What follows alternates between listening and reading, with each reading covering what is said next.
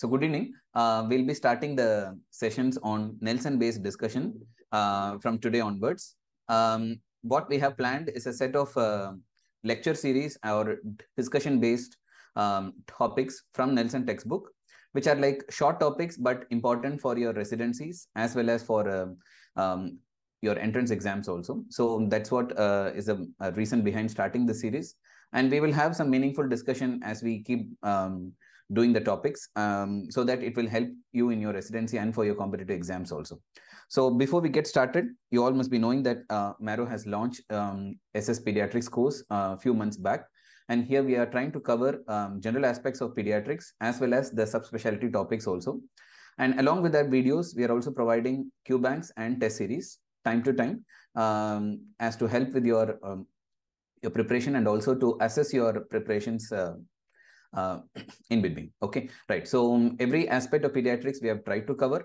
Um, so you can download the Marrow app and can get started. So um, with that, we will start the topic, which is about Kawasaki disease. Again, is there a, if there are any issues, you can let us know in the chat box section. And if you have any questions during the discussion, please put it up in the Q&A. I'll be able to see them and will be able to reply to you. So can we get started? Yeah. Okay. So the first one about Kawasaki disease, a basic introduction. Uh, uh, everything is based on Nelson textbook of pediatrics only. Nothing outside Nelson will, will be covered in this lecture series. So please do make a note of that. And all the guidelines based on Nelson only will be discussed here. And please make a special note of all these guidelines um, when I keep discussing because it is from these tables as well as the guidelines in Nelson from where questions are being directly picked up in the exams these days. Okay, right. So let us get started. Kawasaki disease is an important systemic inflammatory disorder which is characterized by vasculitis. Okay, and we all know that it's a vasculitis involving which type of blood vessel? Large, medium or small size blood vessel. It is definitely medium vessel vasculitis. And what is the importance? Which type of blood vessel is commonly affected in this condition? You all know about it. It is nothing but the coronary arteries which are affected. Coronary arteries which are affected. So that is why it has got direct cardiac implication and this makes the topic very important for exams as well. Okay, right. Next, we are going to discuss about uh, other names of this Kawasaki disease, which is also called mucocutaneous lymph node syndrome. Okay, right. Why it is called uh, mucocutaneous lymph node syndrome?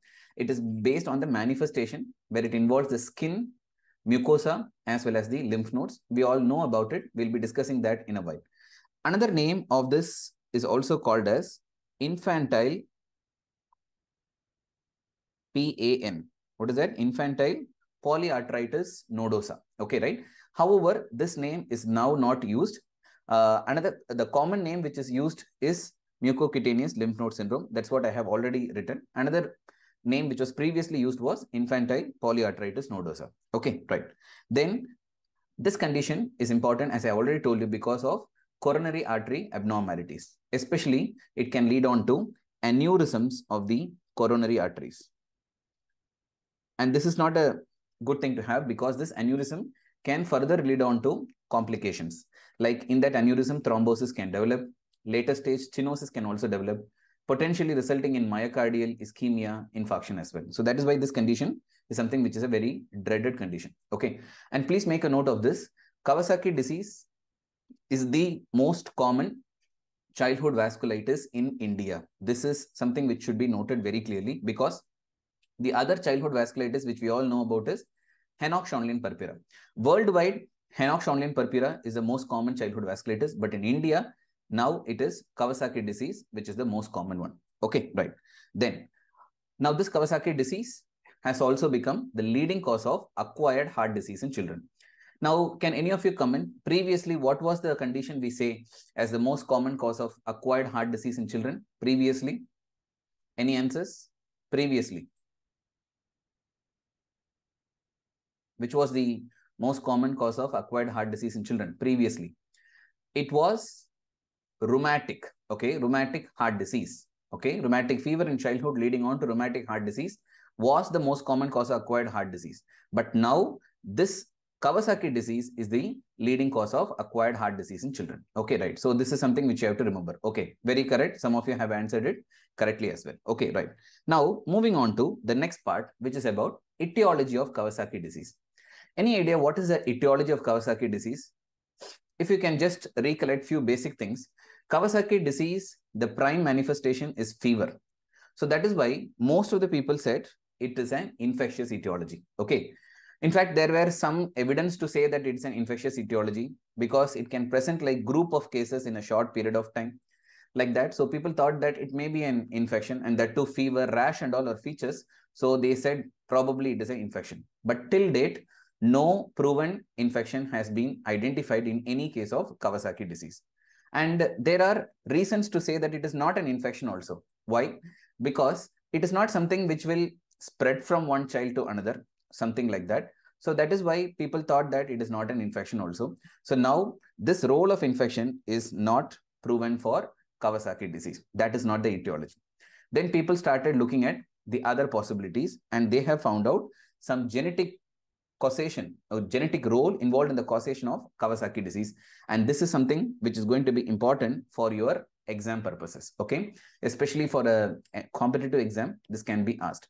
What is the first one? The first one is related to polymorphism in a gene called ITPKC gene. It may be a difficult gene to remember, but you have to remember one basic thing. What is the role of this ITPKC gene? It's a T cell regulator. It's a T cell regulator. So you can basically understand it is something related to inflammation. Okay, right? So possibility of this gene becoming defective and causing an uncontrolled inflammation and vasculitis in Kawasaki disease can be inferred. Okay. Second important, again for your MCQ purpose, is something called SNP. Okay. It's a polymorphisms in human leukocyte antigen class 2 region. That is HLA class 2. And here again, anything related to HLA is a potential question for your exam. Okay. And here some HLAs needs to be remembered. It is HLA DQ B2. This is something which is very important. I feel that it's a potential question. And second thing is HLA DOB region. Okay, right? So polymorphism, SNP is actually single nucleotide polymorphism. In these HLA regions are supposed to be implied in the causation of this condition. So please make a note of this genetic role, potential MCQ for your exams. Okay, now if I ask you like a blank question, what could be the actual etiology of Kawasaki disease? Is it a known condition or an unknown etiology? Answer is just like any other vasculitis, Kawasaki disease is also unknown etiology or Nelson in the first line of etiology itself mentions like this. What is that?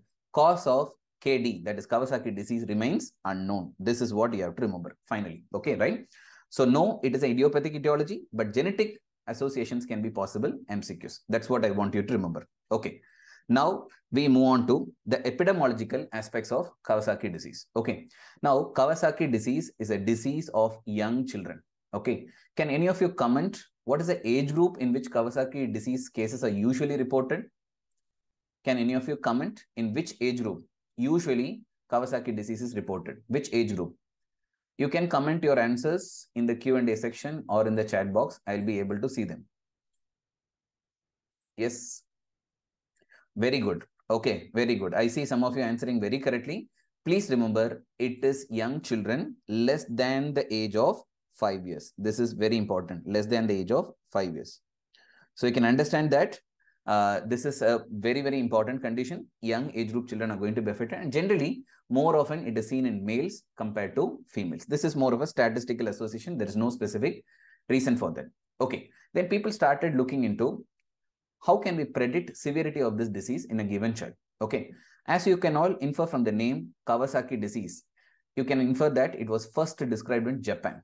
And Japanese people, they have, uh, I mean, derived a sc score for predicting the severity. What is that score called?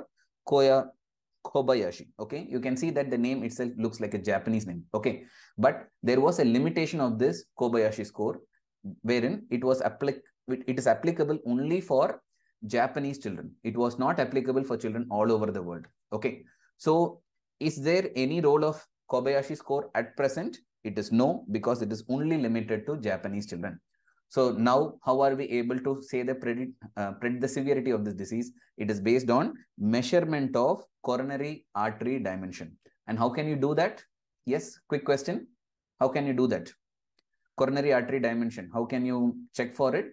Of course, it is by a echocardiography. Okay, right? Very correct. It is by two-dimensional echocardiography. This is important. 2D echocardiography. So if there is a question, which investigation helps in prognosticating a child with Kawasaki disease, your answer has to be two-dimensional echocardiography. Okay, right? So this is something which is a possible MCQ question. Just a minute. Okay, right. So just make a note of it. Okay, right. So this is something related to the epidemiology.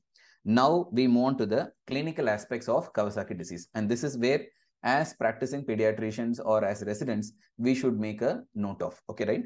Features of Kawasaki disease is something which is very important. I have already told you the initial feature will be the fever. Okay, right? Without any doubt, it will be fever only. Okay. And that is why most of us will think initially the possibilities for an infectious disease. We may start the child on antibiotics. We can start the child, we can send blood culture, but all of those investigation will come out to be negative because this is a non-infectious condition. And second point to be noted is fever is not of short duration. Can anybody comment? Typically, what is the duration of fever in Kawasaki disease? When will you suspect? Yes, when will you suspect Kawasaki disease? Is it a one day, two day fever or a long duration fever? Definitely, it is long duration. And by criteria, we say that at least five days of fever, more than or equal to five days of fever. Very important. More than or equal to five days of fever. And important, important thing is it will not easily respond to antipyretics. Okay, right? Not respond to antipyretics. It will not respond to antibiotics also. This is something which you have to definitely make a note of it. Okay, right? So that is when you will think that this may not be a typical infection associated condition. Okay, so that is number one. And this is the most essential criteria. Okay, now other than fever, yes, very correct. Yes, very correct. It's a long duration fever. Okay, right. Other than fever, what are the other uh, features of Kawasaki disease? Okay, right. Let us quickly see this picture. And the first picture, okay, please have a look at this one. What is that picture depicting? The very classical picture of redness of the eyes or what is conjunctivitis. Okay, right? Conjunctivitis. Now, here also you should make some special note of this. Conjunctivitis we have studied in so many um, infections. Okay, right? How do you differentiate conjunctivitis in Kawasaki disease from other conditions? That's what you have to answer.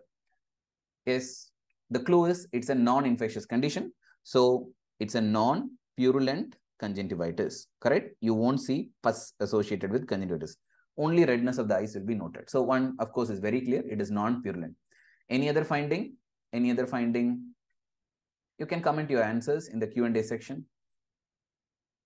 Very good. Most of you were able to say, very correct. Yes, some of you even said the other one, very, very important. Which area of the eye will, will not be affected?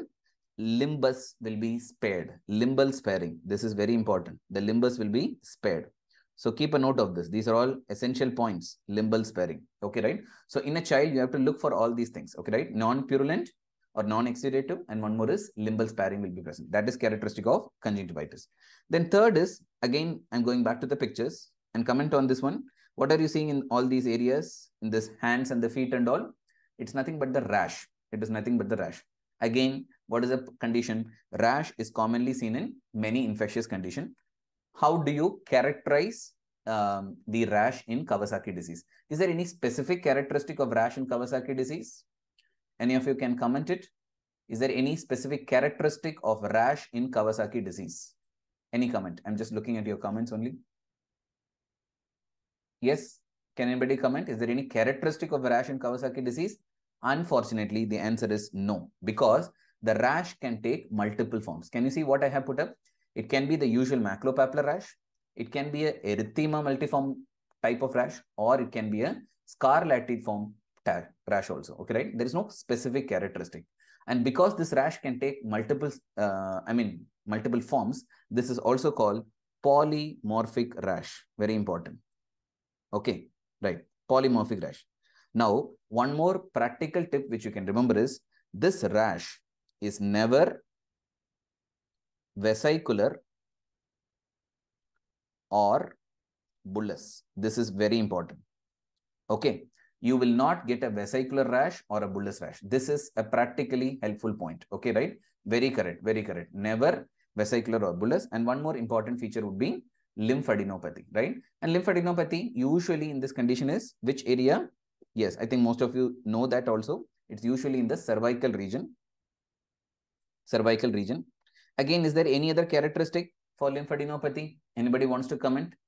Any other characteristic for lymphadenopathy? Yeah, it's usually a single lymph node. Very correct. And this is also asked uh, sometimes in your clinical rounds as well as in MCQ questions also. It's a large lymphadenopathy. This number is very important. More than 1.5 centimeter in size. Please make a note of this. It should be a single cervical lymphadenopathy more than 1.5 centimeter in size. Okay, right, fine. Okay, then I think the other finding all of you can say from this picture. What is this picture depicting? The oral lesion, nothing but erythema. Erythema or redness of the lips as well as the tongue. And you all know about it. The characteristic name for that um, tongue involvement is what? Yes, very correct. It's bright reddish called as a strawberry tongue. Okay, right. Strawberry tongue. Okay, right. These are some of the main features of Kawasaki disease. Of course, not to forget, you can have edema of the limbs also. You can have edema in the limbs also. Okay, fine. Edema in the limbs also. Now, can any of you tell any other feature of Kawasaki disease, which I have not told till now? Any of you can tell? Yes, any other feature of Kawasaki disease, which I have not yet mentioned till now? Okay, look at this picture and tell me what is this picture about? Quick question, what is this picture about? Any answers? Very correct. It is nothing but the, yeah, some of you are saying the other features. I am asking this particular picture. Very good. It is nothing but the desquamation. Where it is noted, it is around the fingernails, which is periungual desquamation. Okay, right? But only one thing I want you to remember very clearly. Periungual desquamation is one of the characteristic features of Kawasaki disease. But only thing, it will not appear in the initial week of illness. Okay, it will not appear in the first week. Usually in the second or in the third week is when periungual desquamation is noted in case of Kawasaki disease. So please make a note of this. Only in the second or third week of illness. Okay. Now talking about desquamation, desquamation can also be seen in the perianal region as well as in the perineal region also. Okay, right? It can be noted in perianal and the perineal region also, okay? But periungual desquamation characteristic in the second or the third week of illness, okay, right? This should be remembered clearly. Okay, right. Now, coming to the next thing, okay? Suppose I ask you, these are all like obvious external manifestations of Kawasaki disease, okay? But which is the most important manifestation of Kawasaki disease? If I ask you, your answer has to be which is the most important manifestation of Kawasaki disease, which you are all worried about in a child with Kawasaki disease?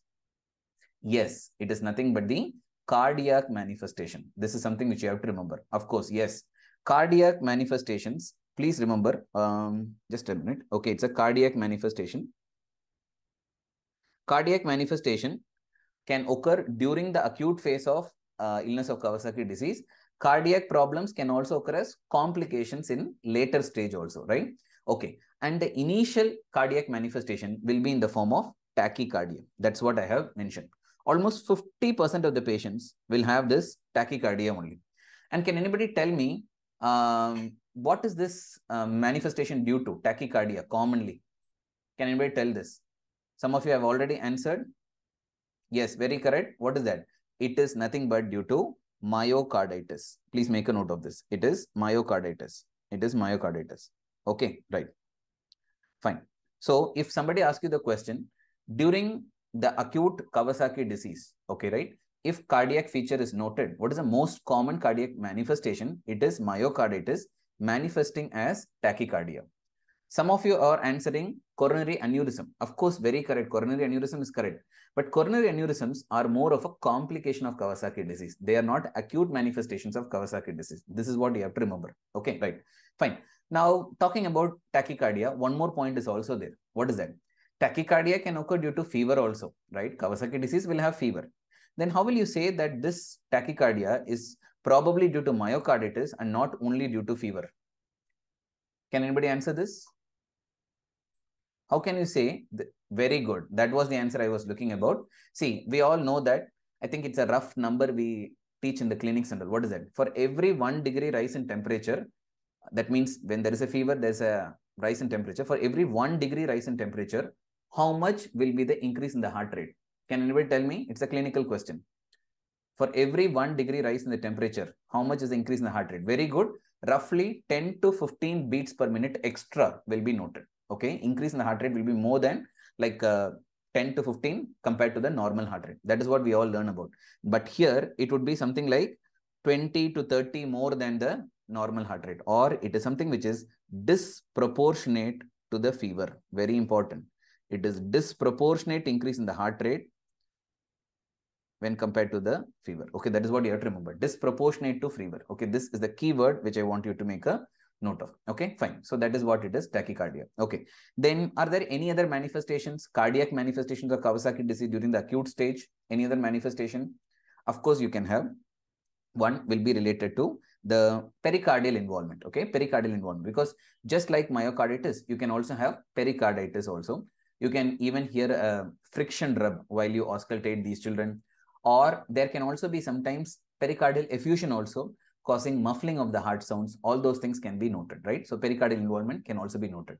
Okay, and one more important, important point is, suppose Kawasaki disease is a severe uh, variety in that particular child, it can directly affect the functioning of the heart and resulting in decreased left ventricular function, which can be noted on echocardiography also during the acute stage. And whenever there is a decreased LV function, you have to think that it's a severe form of Kawasaki disease manifesting in that child. Okay, this is what you have to remember. Okay, and even worse condition can occur. What is the worst form of cardiac involvement Kawasaki disease?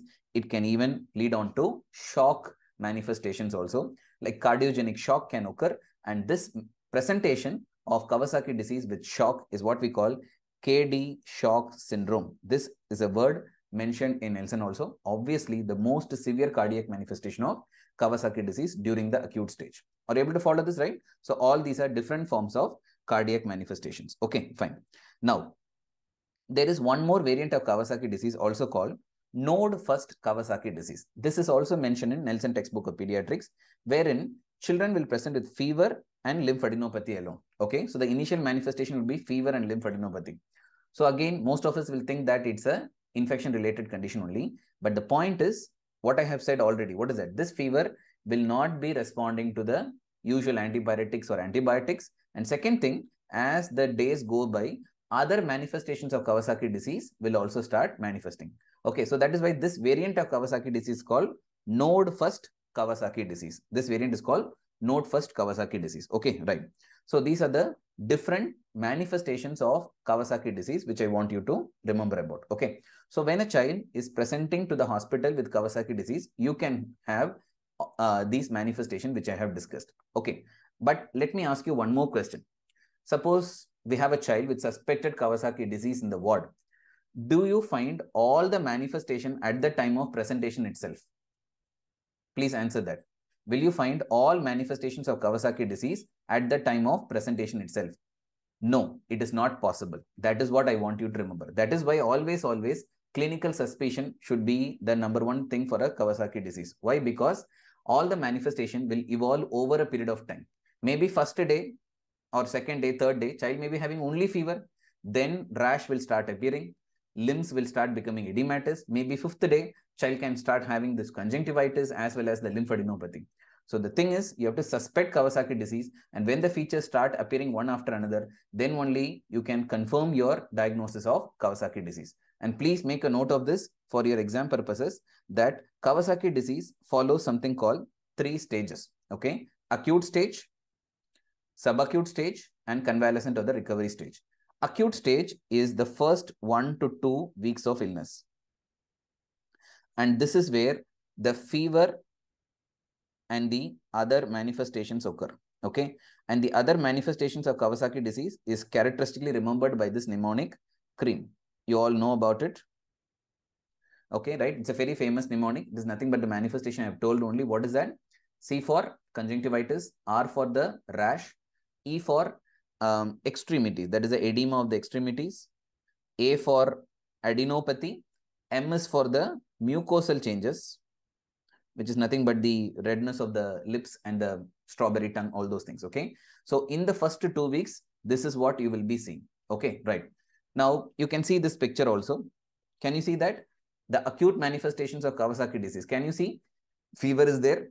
Sometimes arthritis can be there, but is not usual manifestation. Then you can have cardiovascular manifestation. What is written? Myocarditis. Don't forget. In the acute stage, it is myocarditis. Can you see? In the subacute stage only, it is aneurysms. Don't forget that. Okay. Then, of course, skin, you can see the redness. That is a erythema, rash of the palms and soles can be noted. And can you see? Desquamation is noted only in the subacute stage. That is what I was telling you. Periungual desquamation is usually noted in the subacute stage.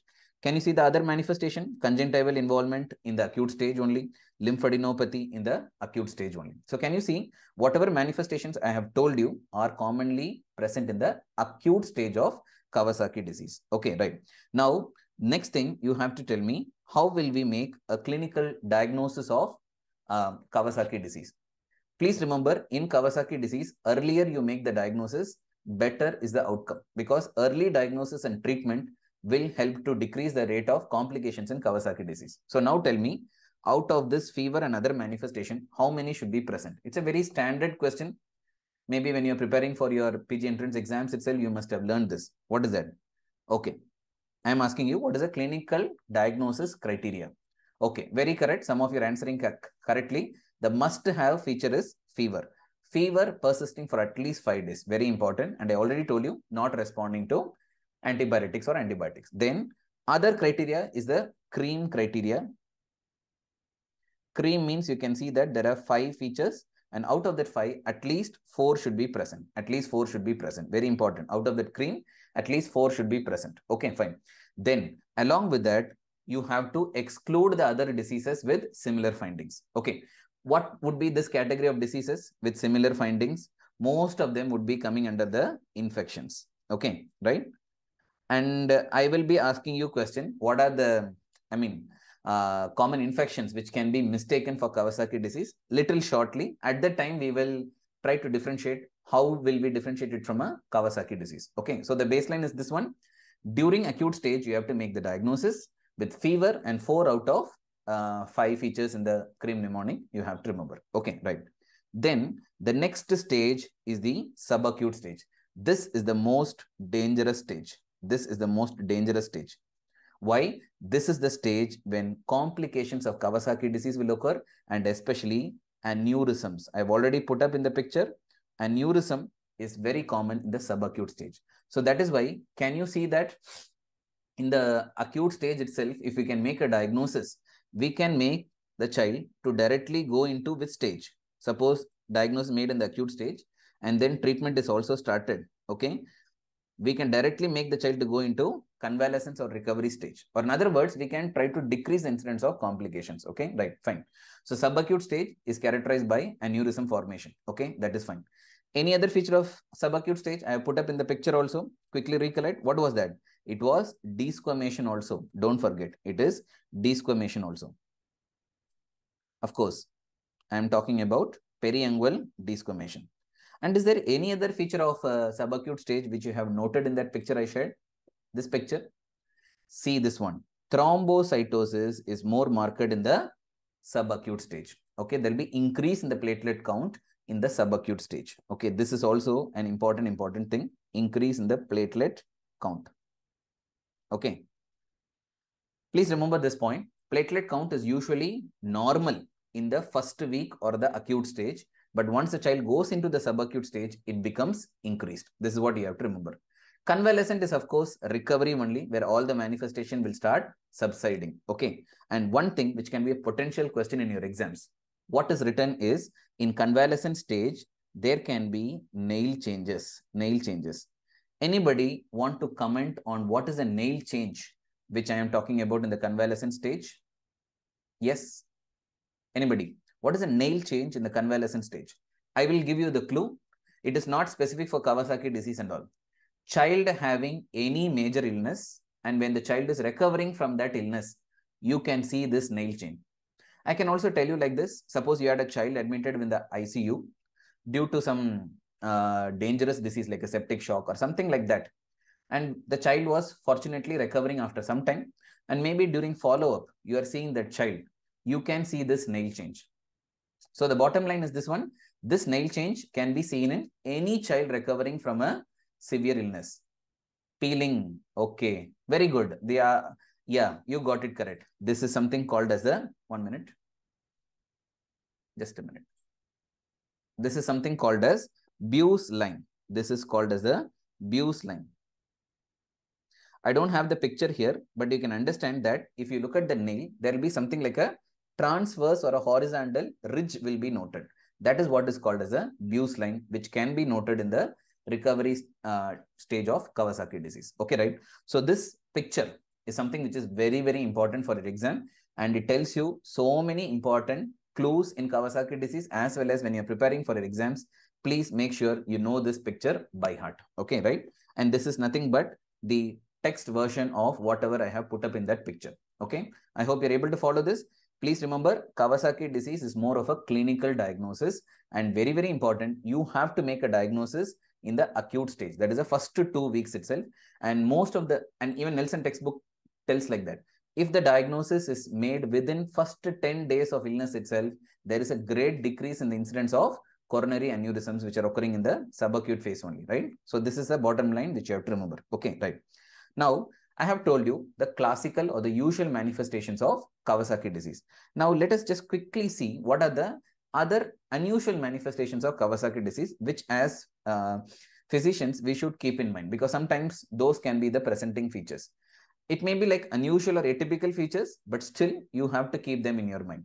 This is what I saw as some of your answers when I was asking about features of Kawasaki disease. Uh, I'll just quickly mention all those manifestations. Okay. One could be something like this. What if I tell you that this is the uh, arm area of the child? This is the arm area of the child. And I am seeing this manifestation. What is that? Okay. It is the area of BCG scar, which has now become reactivated. BCG scar reactivation. That is what you are seeing in this particular um, picture. Okay. BCG scar reactivation. Okay. Any other features? Okay, one more the perianal desquamation. I have already mentioned that previously also. Perianal desquamation, perineal desquamation, all can be manifestations of Kawasaki disease. Then they can have aseptic meningitis. Aseptic meningitis is nothing but a part of inflammatory response to Kawasaki disease. That's it. Nothing's very special. It's a part of inflammatory response to Kawasaki disease. That is what. Okay, right. Same inflammation can cause hydrops of the gallbladder also, which can be noted on the ultrasound okay? We have seen a good number of cases characterized by when we do the investigation there is hydrops of the gallbladder also. So i'll put a star this is one of the important manifestations also which you have to keep in mind. Clinically we come across that is why okay? Then what it can happen then what can happen is something like inflammation. Urethritis can happen urethritis can happen but it's not an infection related urethritis inflammatory urethritis.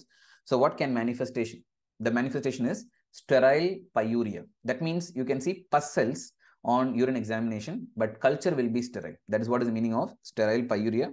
Then, okay, comment on this one. This is nothing but the perianal desquamation, which can be noted in Kawasaki disease. Okay, so these are the other manifestations which are not included in the actual criteria, but should be kept in mind whenever we discuss about or see a child with Kawasaki disease. These are the other possible manifestations. Okay, fine. So now we have covered the clinical aspects of Kawasaki disease. Okay, bottom line is this one. Initially, Kawasaki disease looks like an infection, but please try to differentiate it based on the additional findings. Okay. And all the additional findings will not occur at the time of presentation itself. It will occur over a period of time. So that is why clinical suspicion is must for diagnosing Kawasaki disease. Okay. Next, we move on to lab investigation. Actually speaking, lab investigations are not characteristic of Kawasaki disease. Lab investigations are a reflection of an inflammatory process only. That's all we cannot diagnose lab, uh, I mean Kawasaki disease based on lab investigation. That is the point I wanted to tell you. Okay. Now quickly comment. What will happen to WBC count? Simple question. What will happen to WBC count? What will happen to WBC count? Yes, it is going to be elevated. It will be increased as a part of inflammatory response. WBC count will be increased. Okay, fine. What will happen to the platelet count? I have already told you. It is normal in the first week However, in the subacute stage, that the second or third week, it will be increased. That is what I was talking about. Okay. In subacute stage, it will be increased. Okay, right? Not to forget. Okay, right. Then what about ESR and CRP? Of course, they will be elevated only as a part of inflammatory response. Okay, right. Okay. Now, one important, important uh, clue which is mentioned in Nelson textbook of pediatrics is Kawasaki disease is unlikely if ESR, CRP and platelet count remain normal after seven days of fever. Very, very important clinical claim. Okay. So you are seeing a child who is having, who's running fever for 10 days.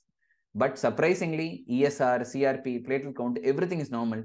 Don't even consider Kawasaki disease. This is a clinical key which I want you to make a note of. Okay, right? So this is something very important, prominently mentioned in Nelson textbook of pediatrics. Okay, right. So just make a note of it. Uh, lab investigation will not help in your diagnosis, but if all the counts and ESR, CRP are normal after seven days of fever, don't think about Kawasaki disease. That's what is the bottom line. Okay. Then if at all there is an investigation which can help me with prognosticating a child with Kawasaki disease, what would be that investigation? I will again repeat my question. Tell me the investigation which will help to tell the prognosis in a child with Kawasaki disease. Prognosis in a child with Kawasaki disease. It is none other than two-dimensional echocardiography. Without any doubt, it is two-dimensional echo only which will help me to prognosticate a child with Kawasaki disease. Okay, right? And this is given by American Heart Association guidelines in 2017, where they have given nothing but coronary artery dimensions.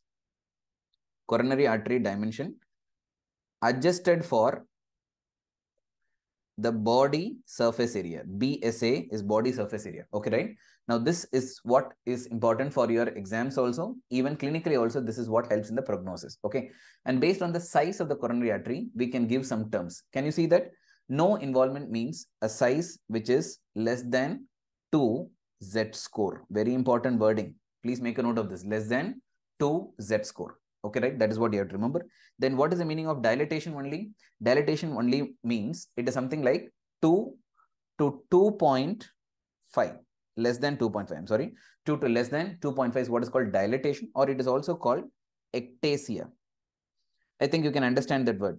Ectasia means nothing but dilatation only. Correct. Okay, right. Then small aneurysm. This now it is a classification for aneurysm. What is that?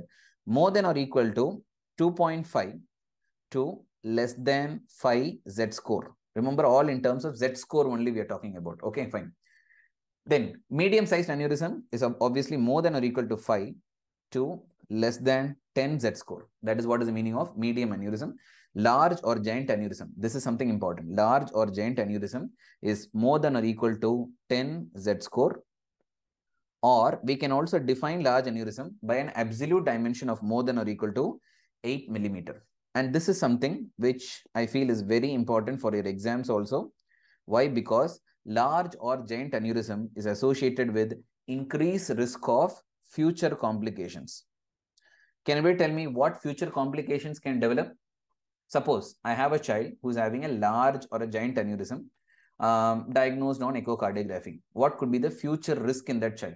I should be aware of that risk because uh, I have to plan some management based on that. Can anybody tell me what would be the future risk for a giant or a large aneurysm? Of course, the caliber of the coronary artery is getting affected. So in future, it can even be associated with what? Stenosis of the artery leading on to ischemia and infarction. It can also predispose to acute coronary thrombosis also. This is the risk I have to be careful about whenever I see a child who's having large or a giant aneurysm. Okay, right. Just a minute. Okay. So can you note this one? So the question will be like this. Which investigation helps in prognosis of a child with Kawasaki disease? It is two-dimensional echocardiography. And what type of aneurysm is associated with increased risk of future complication? It is the large or giant aneurysms characterized by Z-score of more than or equal to 10 or absolute dimension more than or equal to 8 millimeter. This is what I want you to remember. Are you able to follow this? Right. Okay. Right. Now, coming to the next part. Echocardiography is fine. But when should I do the echocardiography? This is something like a guideline only. There is no reason for me to uh, or I cannot explain this one. These are all based on the guidelines given in Nelson textbook. What is that? Every child with Kawasaki disease, once you made a clinical diagnosis, at the time of diagnosis itself, you have to do a baseline echocardiography. Of course, it's very unlikely that in the first week of illness, you will see any changes, but at least some dilatations may be noted. That is what. So at the time of diagnosis, you have to do the echocardiography. Then when is the next thing? Um, when is the next time we will do the echocardiography? The second is one to two week uh, of illness you have to do because the child is going in towards the subacute stage. Then third is like six to eight weeks. Why six to eight weeks is something like this. Six to eight weeks generally marks the recovery time in Kawasaki disease. So probably at that time also, you may have to do this. Six to eight weeks. And then after one year of illness, you have to do, okay, something like a follow-up only.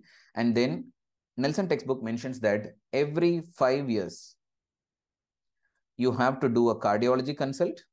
And then if needed, you have to do echocardiography also. Okay, right. This is what is the timeline for doing echocardiography. So please keep a note of this. This can be asked in your exams as well. What is the timeline for doing echocardiography? Now, see, these are all the timelines.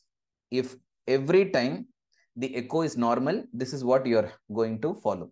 Suppose at any point of this time, so for, for example, one to two weeks or six to eight week, any time, if echo is abnormal, then what the guidelines say, you have to do frequent echocardiographic monitoring. And this is left to the treating physician or the cardiologist. They will do frequent monitoring. Okay. Every time when the echo is normal, the first one I have written will be applicable. But any point of time, the echo becomes abnormal, then you have to do frequent monitoring. This is what is related to the echocardiographic, uh, I mean, monitoring in a child with Kawasaki disease, the most, most important investigation. Okay, right. Okay, now, one more thing I want you to make a note of is regarding differential diagnosis of Kawasaki disease. This is something important. Okay, diagnosis is clinical only. Lab investigation, not helpful, but echocardiography for prognosis, it is important. That is what I have told you till now. Now, tell me what are the differentials you will consider whenever you are dealing with a Kawasaki disease. Of course, of course, it's all about infections only, right? So can anybody tell me what all viral infections can be the differentials for Kawasaki disease? I think this is a very famous question also. Viral infections which are um, differentials for Kawasaki disease. Any comment? Viral infections. See, there can be many viral infections which can have different features of Kawasaki disease, but two important things, at least clinically, for us, uh, for our discussion purpose also you should know about is, one is adenoviral infection, one more is measles infection. Okay, fine. Now, let us discuss how to differentiate it clinically. Okay, yeah, very good, very good. Most of you are saying the answers, but first you tell me, adenoviral infection, how can it be differentiated from a usual Kawasaki disease? Any answer? adenoviral infection can have conjunctivitis, but it would be exudative conjunctivitis. Very important, exudative conjunctivitis. Whereas in Kawasaki disease, it is non-exudative conjunctivitis. So this is a key feature.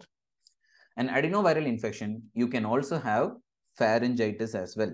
Exudative pharyngitis, which is typically not noted in Kawasaki disease. Okay, that is one way of differentiating between adenoviral infections and uh, a Kawasaki disease. How about measles? See, measles is just only for the purpose of discussion I am taking into account. Nowadays, we don't see many cases of measles because it's vaccine preventable. And number two, measles, I think clinical diagnosis, most of you should be able to tell me. What is that? The typical, what is that? Yeah, there also conjunctivitis. Of course, exudative conjunctivitis, without any doubt, exudative conjunctivitis. Anything else? The typical rash of measles. What is the typical rash of measles? We all know about it maculopapular rash, which starts in the face from behind the ears and then spread downwards. Okay, right?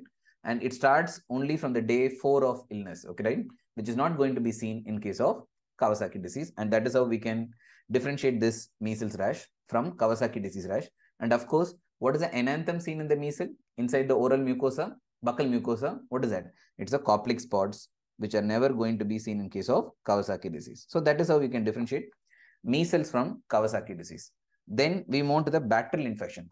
And when I say bacterial infection, that's what most of you have commented also. The number one condition will be scarlet fever. Typically in scarlet fever, you have fever, you have rash, you also have strawberry tongue. Very correct, right? So then how will you differentiate scarlet fever from Kawasaki disease? Any comment? Scarlet fever from Kawasaki disease. This I think is a clinical question which most of you might have come across uh, maybe in your uh, clinical rotations when you see a case of Kawasaki disease. Usually your uh, consultants will ask this question. How do you differentiate scarlet fever from Kawasaki disease? Remember, fever, rash, as well as the uh, strawberry tongue are all characteristic features. Okay, right? Seen in both Kawasaki and uh, scarlet fever. How will you differentiate it? Yes, scarlet fever, please make a note of it. There will be a prompt response to antibiotic. Very, very important. Prompt response to antibiotics. Very important. Within 48 to 72 hours of starting antibiotic, the fever will subside in case of scarlet fever, whereas it will never going to subside in case of Kawasaki disease. This is the clinically important point which you should remember. Second important things is in scarlet fever, ocular features, that is a conjunctivitis and all, is usually not seen. Whereas it is prominently noted in case of Kawasaki disease. Okay, I hope you're able to understand that. This is very important. So I'm putting a star here for the scarlet fever, which is often asked in the exam. Then one more, which may be relevant for our Indian population is leptospirosis. You all know about it. Uh, leptospirosis can have some features of Kawasaki disease, especially leptospirosis. Uh, why do you think I'm telling in terms of Kawasaki disease? Leptospirosis, prolonged fever. Very correct. Leptospirosis is prolonged fever. Very correct. Okay, right? However, leptospirosis will typically have a biphasic illness. Very important. Biphasic illness. How is that usually happening? Any comments? Biphasic illness. Initially, there will be fever. Along with that, intense headache will be noted. After that, what happens is that there will be a afebrile phase for few days, which is never going to occur in Kawasaki disease. Kawasaki disease, it will be continuous fever only. But in leptospirosis, after the initial fever, there will be few days of afebrile period. And then you will have this very, uh, I mean, dangerous manifestation. What is that? Hepatic plus renal failure will occur. Hepatic plus renal failure will occur. That's what you have to remember. Hepatic plus renal failure will occur. That is how you'll differentiate. It's leptospirosis and not any other um, Kawasaki disease like presentation. Okay, right. So these are the infections related differentials for Kawasaki disease. Then, can any of you think of any rheumatological disorder which will have some features of Kawasaki disease? Always remember, um, uh, not all rheumatological features, but many rheumatological uh, disorders will have rash as one of the characteristic features. Some of them can even have fever, okay? And even arthritis also, because Kawasaki disease rarely has been associated with arthritis also. So can any of you think of a rheumatological disorder as a differential for Kawasaki? Um, no, you're talking about complications of rheumatological disorders. I'm not asking about that. The name of a rheumatological disorder itself. Okay, what is this one? S-O-J-I-A. What is that? Systemic onset juvenile idiopathic arthritis. Correct? Yeah, correct. So systemic onset juvenile idiopathic arthritis. That will have typically fever. That will have a rash also. And that fever also will be for a longer period of time. That fever will also be for a longer period of time. But what is the differentiating feature? Can anybody tell me what is the differentiating feature for uh, differentiating this uh, systemic onset JA from Kawasaki disease? I will give you the clue. You try to attempt it. Lymphadenopathy is one of the differentiating features. What is that? Why lymphadenopathy is a differentiating feature? In Kawasaki disease also you have lymphadenopathy, right? Recall the point. What is that? Kawasaki disease, it's a single cervical lymphadenopathy. Whereas in systemic onset JA, it will be diffuse lymph node enlargement. Okay, I'm writing in short form. Diffuse LNE. What is that? Diffuse lymph node enlargement. That is number one point. And number two point is that there will be additionally splenomegaly. There will be additionally splenomegaly. And many cases of so systemic onset JA, you will also have a lab investigation. What is that? Elevated serum ferritin also can be noted. Hyperferritinemia can also be noted in many cases. Okay, this is how we can try to differentiate Kawasaki disease from some other conditions. Okay, right? So this slide is something going to be important for your exams. Even clinically also, this is very, very important because I repeating it again and again, but still it is important. That is why Kawasaki disease, all the features may not be present at the time of, uh, I mean, child presenting to the hospital. So that's why we have to consider differentials. And as the features keep on accumulating, you can make a clinical diagnosis of Kawasaki disease. Okay, right, fine. So till now, what I have discussed is about a typical case of Kawasaki disease and how to differentiate it from other condition mimicking the Kawasaki disease. Now, we can have one more situation also called by this. What is that?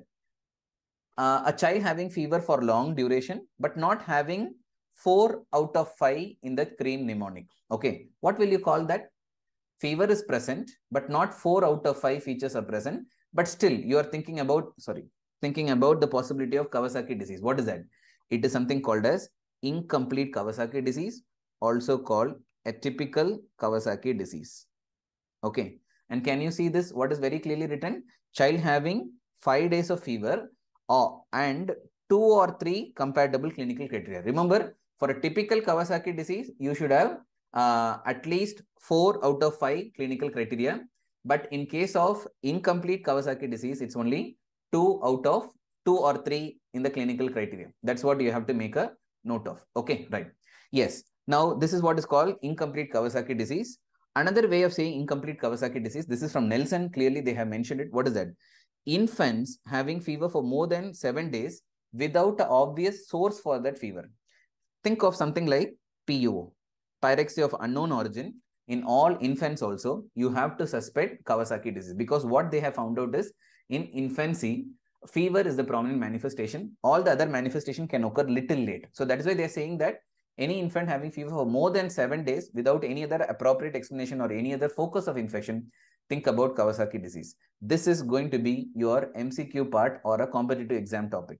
How will you evaluate this child with incomplete Kawasaki disease? Can you see the first one written? You have to depend on lab investigation. What did I tell you previously? Lab investigation will not help in the diagnosis of Kawasaki disease, I told you. But here, in uh, to bring in the possibility of Kawasaki disease, we have to depend on lab investigation. And that too, what are the two investigation? ESR and CRP. Of course, what I'm expecting, elevated ESR and CRP, which is what you are seeing on the right side. CRP more than 3 and ESR more than 40. It means there is a definite inflammation. I can think about Kawasaki disease. Look at the other side. What is that? If the ESR is less and CRP is less, it is unlikely to be Kawasaki disease. That's why they have mentioned reassess like that. Okay, right.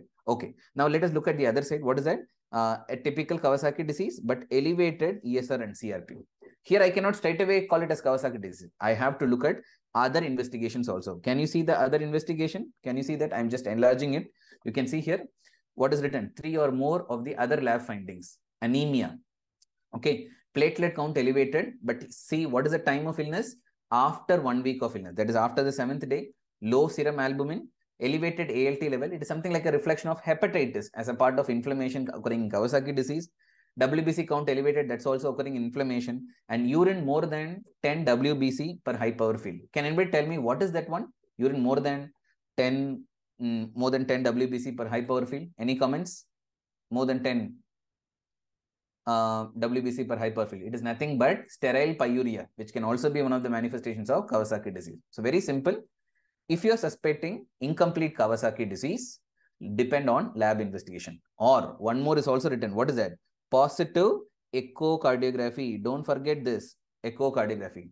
So in addition to lab investigation, you can also do echocardiography. Okay. So multiple lab investigation are suggesting inflammation or echocardiography is positive.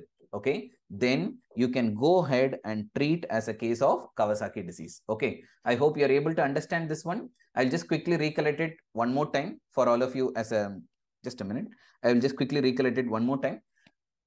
Typical case of Kawasaki disease will be diagnosed based on clinical features. That is fever along with 4 out of 5 in the cream mnemonic. That's what will be for typical Kawasaki disease. And in a typical Kawasaki disease, echocardiography will help in prognosis. Lab investigations are not going to anyway help in the diagnosis. But when you come to incomplete Kawasaki disease, lab investigation should be done and the initial suspicion will be based on elevated ESR and elevated CRP. And if that is the case, then you have to do other investigations also to look for evidence of inflammation. If that is positive, you can treat as Kawasaki disease. Or if investigations are not suggestive, but echocardiography is suggestive, then also you have to treat it as a case of Kawasaki disease. I hope you're able to follow this typical and incomplete or atypical Kawasaki disease. I hope you're able to follow this. Now we move on to our last part of discussion, which is going to be regarding treatment of Kawasaki disease. Okay, treatment in the acute stage. That is the first one. Okay, and you all know what is the initial drug which we will give? It is always, always intravenous immunoglobulin. IVIG is supposed to be the treatment of choice in case of Kawasaki disease. Okay, right? Okay. Now, can anybody tell me, uh, see, this is something which is very important. At a pediatric residency level, you are supposed to know the dose of IVIG also. Can any of you tell if you have used uh, or maybe you have seen a child with Kawasaki disease being treated? You can tell me the dose. This is important. That is why I'm asking you the question. Any dose of IVIG can any of you tell? Okay, it is something like grams per kilogram. Know it correctly. It is 2 grams per kg. Okay, that would be the dose given as intravenous infusion over 10 to 12 hours. This is important. Okay, right.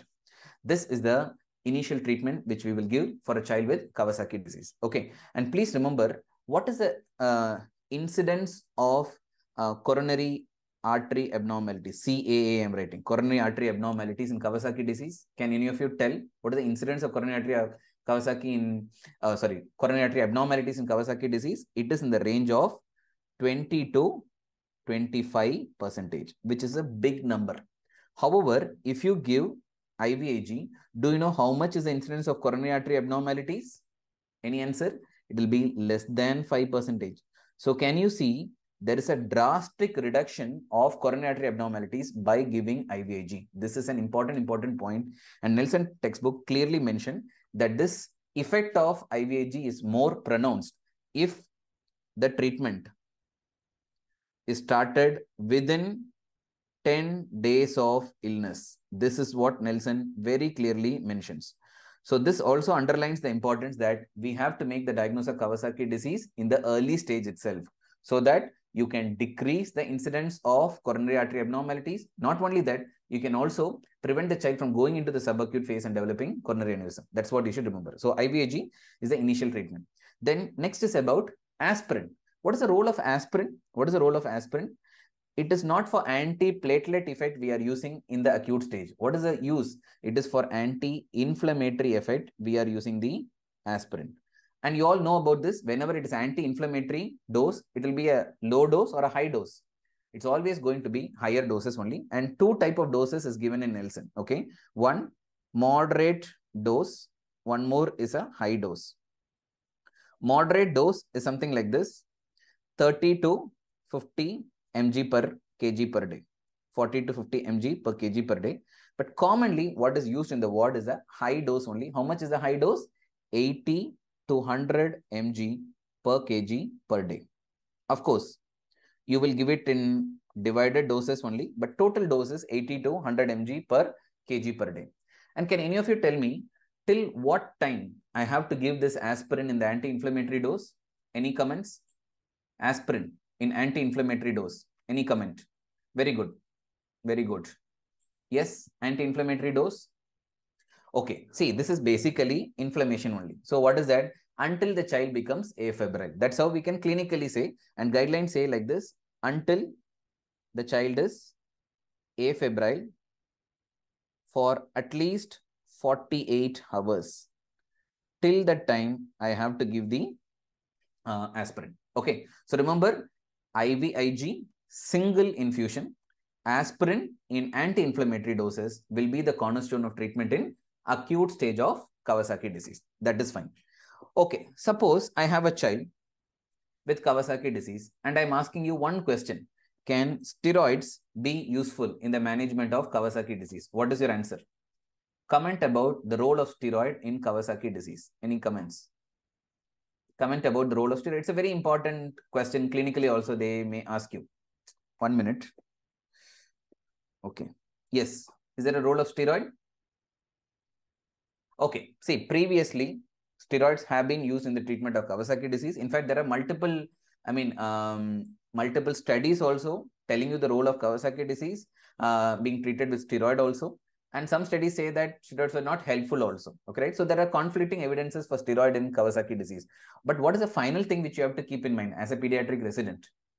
Okay, this is what Nelson says. See here, despising, despite these promising results, administration of steroids as primary treatment to all children with Kawasaki disease avoids development of a risk score that identifies high-risk children in a multiracial population. Okay, that means till now, the role of steroids is not clear and they are not routinely used in the management of Kawasaki disease. That is the point which you all have to remember. Steroids do play a role, but not routinely used in the management of Kawasaki disease. That's what you should remember. Okay, right. Okay, then one more condition I want you to make a note of. I was giving IVIG for a child with Kawasaki disease, but unfortunately, the child was not responding to the treatment. I will call this as IVIG resistant Kawasaki disease. Okay, IVIG resistant Kawasaki disease. By definition, if the child is not responding even after 36 hours, this timeline is important. After 36 hours of starting IVIG treatment, if the fever or the clinical features still occur, then it is called IVIG resistant Kawasaki disease. Okay, now this is a clinical um, scenario which you have to answer. What are my treatment options at this time? What are the treatment options at this time? What I can do is I can give a second dose of IVIG because it is found out that good number of children have responded to second dose of IVIG. The same dose only I am going to use it here, 2 gram per kg as a intravenous infusion. That is what I will be using uh, as one treatment option. Second uh, treatment option would be like giving IVIG along with steroids, along with steroids. And here the steroid is a prednisolone. Prednisolone. Okay, that is a second option which I can have whenever child is not responding to the usual treatment. Okay. Then third one would be something like another uh, immunomodulator.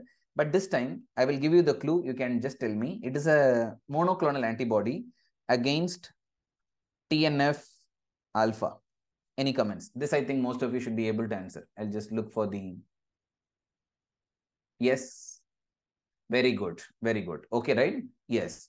Monoclonal antibodies can be given. What is the name of that? Yes, it is called infliximab. Okay, it is nothing but the infliximab.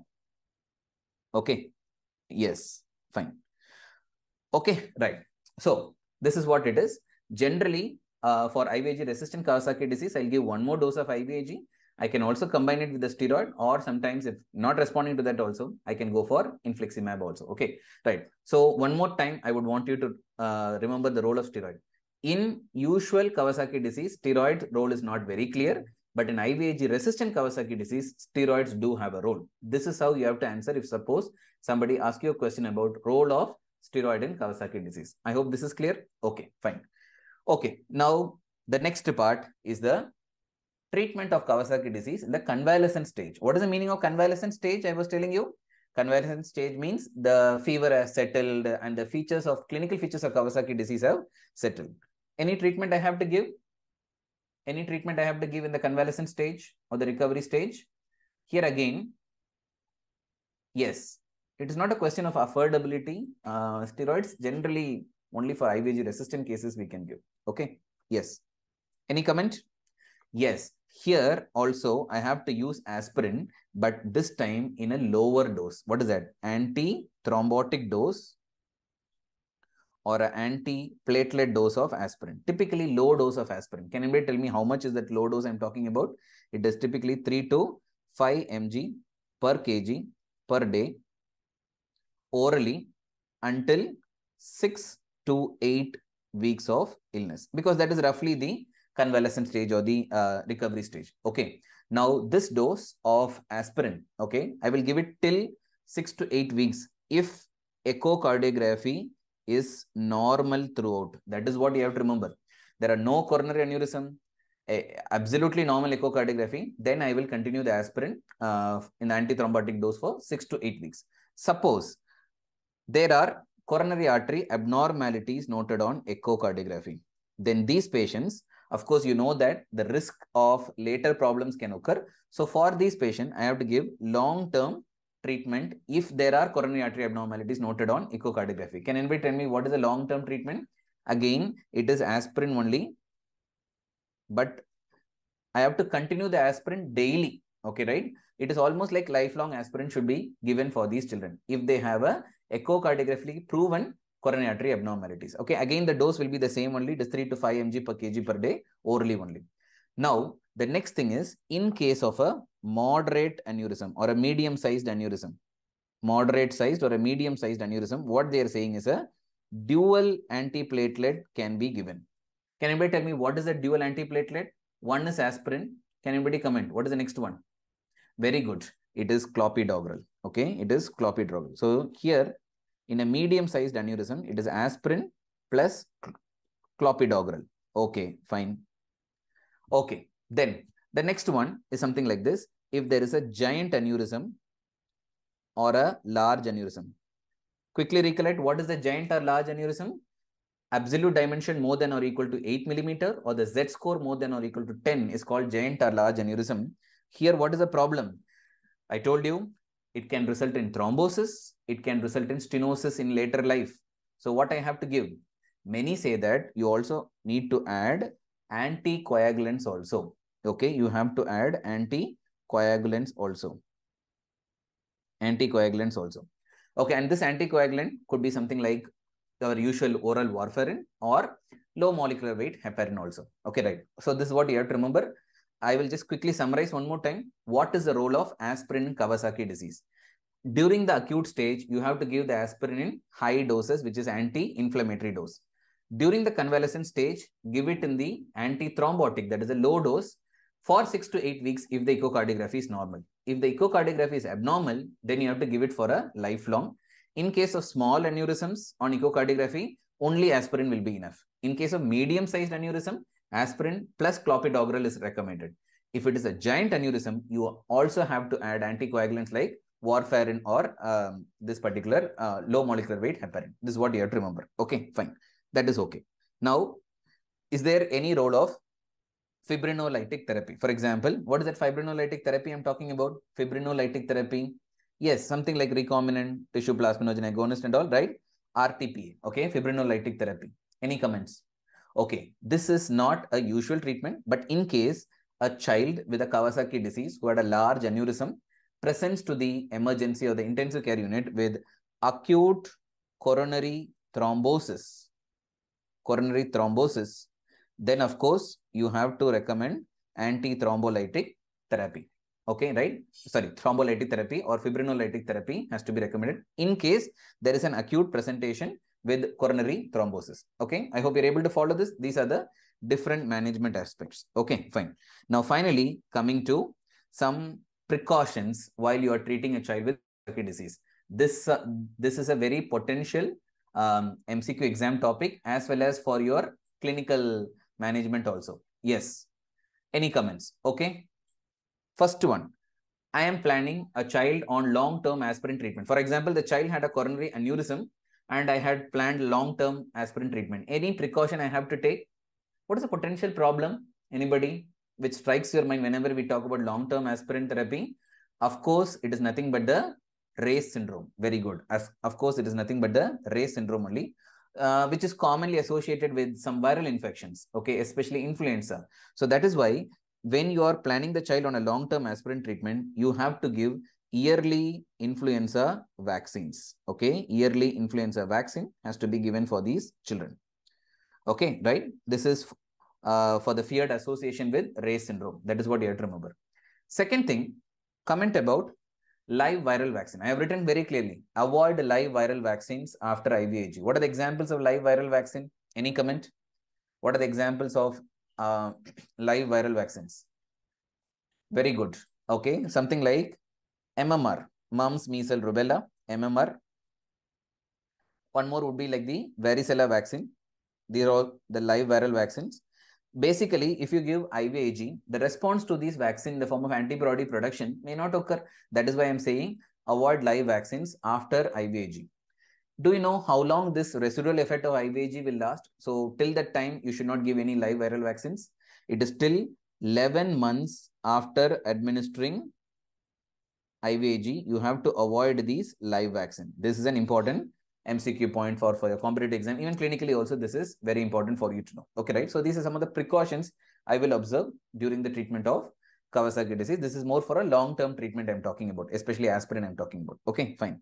Okay, now finally coming to the prognosis of Kawasaki disease. Okay, see, I have told you so many dangerous things about Kawasaki disease. Okay, right? Coronary aneurysms, risk of myocardial ischemia, long-term stenosis, all those things. Okay, it is there. But what I want you to remember is generally many children do not have a very dangerous course and most of them recover to normal health only. That is what I want you to remember. In fact, uh, when we talk about CFR, that is a case fatality rate, it is less than 1 percentage. Okay, right? It is less than 1%. Okay, so it's not going to be something like a very dangerous condition, but still we have to keep a note of it because there is a coronary aneurysm which can occur in this particular condition. Okay, right? And it is said that, okay, timely improvement, timely treatment will improve the outcome. That's what. So don't forget, again, one statistical point I want you to remember. What is that? Within 10 days, if you start the treatment with IVIG, the decrease in coronary aneurysm will happen to the range of less than 5 percentage only. That is the point I want you to remember. Okay, fine. Okay, right. Then uh, very rarely, 1 to 3% of cases, Kawasaki disease can have a recurrence also in 1 to 3 percentage of cases. Okay, right. So this is something about the acute Kawasaki disease. What about a child who has developed a coronary aneurysm? What is the fate of coronary aneurysm? Fortunately, most of the coronary aneurysm, if at all they develop in Kawasaki disease, they are only small coronary aneurysm. And it is generally said that almost 50% of the coronary aneurysms will regress to the normal size. 50% of coronary aneurysms will regress to the normal size because they are usually small aneurysm. But not to forget, giant aneurysm okay, unfortunately, if a child has giant aneurysm, then there is a significant risk of thrombosis or stenosis in the later life. And here I want you to answer one more thing. Suppose child in later life had developed a significant stenosis of the coronary arteries. Then what can be planned for that child? Of course, later time only. What can be planned? Of course, you have to plan the CABG. And for CABG, usually the arterial grafts are recommended. Arterial grafts are recommended. Okay, right. In case child goes on to develop a significant stenosis. Okay, right. So these are the some important points related to prognosis. Most cases, you will not, child will come out in normal health only, but very rarely you can have these complications which can occur. Okay. Now, coming to the summary points of Kawasaki disease, just a quick recap about whatever I have discussed till this time. Number one, it is the most common childhood vasculitis, especially in Indian children. Now it has become the most common childhood vasculitis.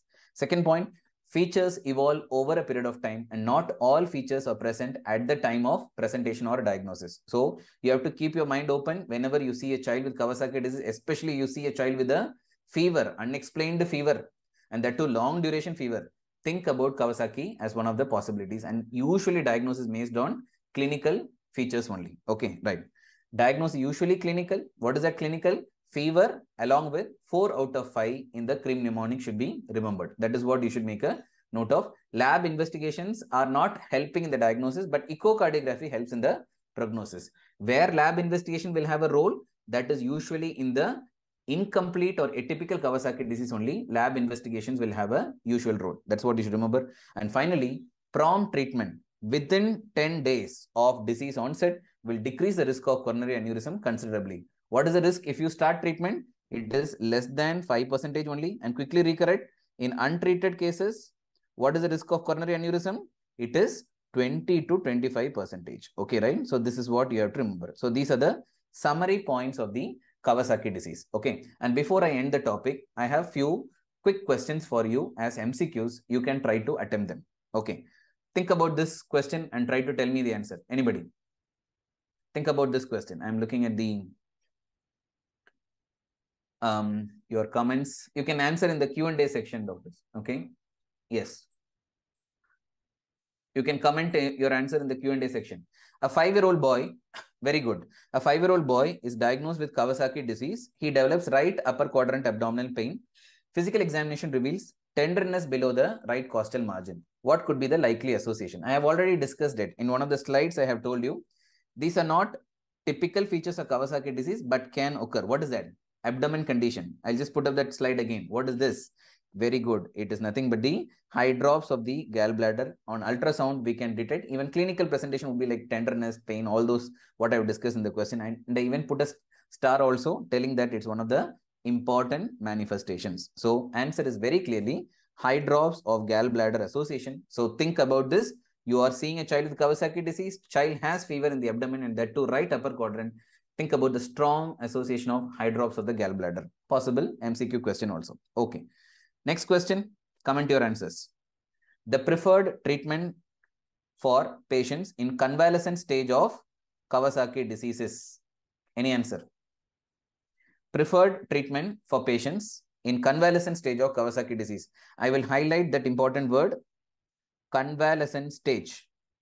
Comment your answer. Just looking at the answers. Okay, very good, very good. This is where you should be looking at the wordings. What is that? It is clearly mentioned convalescent stage. What did I tell you? In convalescent stage, you will give aspirin alone and that too in low doses or anti-thrombotic or antiplatelet dose is what you're going to use aspirin. That is what I clearly mentioned. I'll just take you back to that slide. This was the slide. Can you see that? Treatment in convalescent stage, only aspirin. Don't make the mistake of saying it as aspirin and IVIG. Aspirin and IVIG is in which stage? It is in the acute stage only. Warfarin and aspirin, where will you use? Only if the child is having coronary artery aneurysms. You are going to use warfarin and aspirin. And warfarin, that too, what type of aneurysm? Is it a small and medium sized aneurysm? No, it is for a giant coronary artery aneurysm only. I will be using warfarin and aspirin. Okay, right? Then what is the other option? Tissue plasminogen activator. Is it for convalescent stage? No, it is when a child present with the acute coronary thrombosis, acute coronary thrombosis. That is when you have to use this uh, tissue plasminogen activator. So all these will not be the answer. Very clear answer is only aspirin. I hope you're able to understand this look at the wording of the question and answer this. That is what is the uh, thing one. Okay, right. Okay, yes. Fine. Then the next one. A child is diagnosed with the Kawasaki disease. He received one dose of IVIG and several doses of aspirin. Child did not improve clinically even after 36 hours of therapy. What should be the next step in the management? I'm again looking at the answers you are typing. Yes, very good. What is this? Not improving after 36 hours of initial treatment. What is that? It is nothing but IVIG resistant Kawasaki disease. What should be the answer? Very good. I will repeat one more dose of IVIG. I will repeat one more dose of IVIG. Okay. I will again take you back to that slide. This was the slide I was telling you. In IVIG resistant Kawasaki disease, what are the treatment options? Multiple options I told you. But first thing itself I have written is second dose IVIG. That means I will repeat one more dose of IVIG. That would be the clear answer for this particular question. Okay, right. So those were some of the MCQs I wanted to discuss at the conclusion of this particular topic. Uh, with that, we are coming to the conclusion of um, Kawasaki disease, which is the first Nelson-based discussion topic. So I hope this type of discussion was useful to you. We are selecting topics uh, which will be like short discussions, but still very important clinical topics, not only from your um, I mean, MCQ point of view, but also for your residency purpose also, you have to know about this. So that's why we made this discussion. I hope it was useful for you. If there are any suggestions or comments, you can please let us know here. Uh, regarding the availability of this session later, uh, possibly this will be uploaded um, at a later time, maybe in the YouTube platform little later. Uh, but right now, I strongly advise you this one only. Whenever a session is planned please take part in the discussion. You can have a reading of nelson prior to that also. Or you can try to recollect the clinical cases which you might have presented related to the discussion also so that it helps you in recollecting and solidifying the facts which you have already learned. Okay right. If you have any suggestions or any particular um, topics uh, for discussion also you can let us know we'll be planning it like mostly on a weekly basis, um, like every week. And usually these classes will be planned in the evening time so that um, you will be available for that and not to interfere with your routine in the daytimes. Okay, right. Yes, we are planning more sessions and this is going to be like a series of discussions only. Okay, right. One of you are having the question like, is long-term aspirin needed in dilatation only? See, long-term aspirin is needed only when echocardiography is abnormal, doctor. Otherwise, if the echocardiography is normal, you can stop aspirin at six to eight weeks after the illness started. Okay, right. So this is what you have to remember. Only if echocardiography is nor abnormal, long-term aspirin is needed. I hope that is clear. Okay, right. Yeah, that is what I was telling you. At a later time, uh, this video will be uploaded to the YouTube platform. You can have a look at it from there also. And those who are subscribers, uh, it will be always available in the app uh, platform also. Anytime you can revisit it. Okay, fine. Okay, yeah. Some of you are saying HSP is not most common. That is what I was clarifying again and again. Worldwide, HSP is the most common childhood vasculitis, but in India, Kawasaki disease is now the most common childhood vasculitis. Okay, fine. So I hope um, the session uh, is ending on a good note and hope you have gained something out of this session. You can have a look at Kawasaki disease. Uh, everything was based on um, Nelson textbook of pediatrics only. Hope to see you soon uh, in future with another um, session of an important topic from Nelson textbook. Thank you, and I'm concluding the session. Nelson new edition update is going to be released uh, possibly in this April 2024. April 2024 is the possible release date of um, Nelson's 22nd edition. Okay. Thank you.